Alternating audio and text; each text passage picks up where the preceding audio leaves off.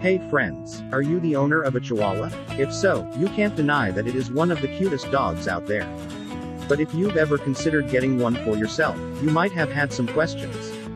So, we put together a list of some of the fun facts about Chihuahua dogs that you, possibly, did not know. You're probably familiar with the Mexican state of Chihuahua, which is where this breed gets its name. In Mexico, Chihuahuas were traditionally considered to be good luck charms to carry around.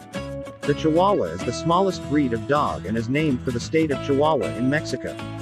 Despite their small size, Chihuahuas are known for being very loyal dogs.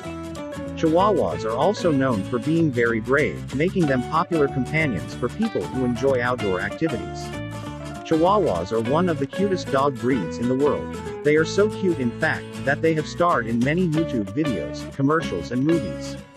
If you like this video, please subscribe, share this video, leave a comment and turn on the notification bell for more informative videos. Thanks.